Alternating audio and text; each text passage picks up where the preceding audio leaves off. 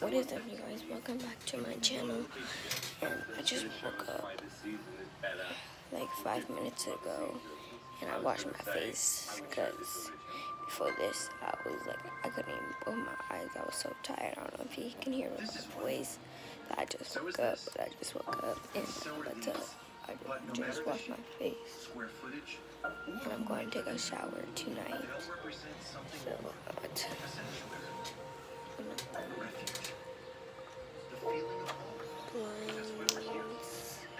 morning, everybody. Okay. Nice. This is our morning routine. So we, we just woke up. I'm about to sit right by blind. Order your contacts now and get fast free shipping plus our best price guarantee.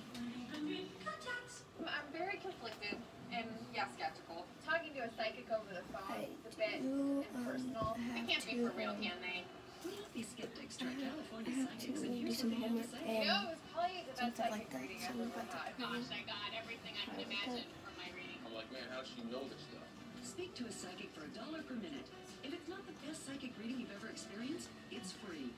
The reading was unexpectedly warm. She addressed everything that I wanted to talk about. I really felt like that she knew me. I've always had a passion for fitness. She saw me owning my own yoga studio. Speak to a psychic for a dollar per minute. Readings are secure and confidential. If it's not the best psychic reading you've ever experienced, it's free. She had names. She had so much detail. She really just reassured me that I'm on the right path. I've never had a phone call And make so me so excited for the future. Um, I California like to psychics. The best or it's wake up in the morning Call today.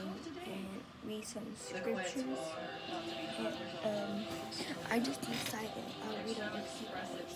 So I'm gonna read this first one. I usually read about three or four scriptures.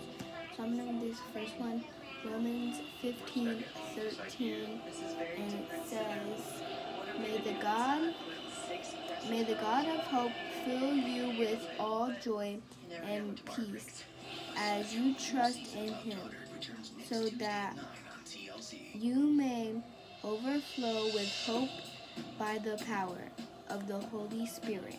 So that one really caught my eye because it's basically saying like with God you will have the power to do things that you want to do in life. You can achieve your goals basically.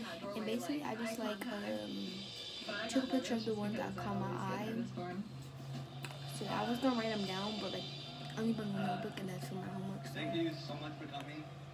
This is what's hoped to be the first annual Zachary uh, soccer fundraiser. So uh, yeah, so now I'm gonna read another one. Um, we're here Uh, to yeah, um, I might just read all of them because we need. Every Um, so I'm gonna read Romans um, 8:31. uh, And it says, diagnosed with dwarfism. What then shall we say in response to these things? If God is for us, who can be against us?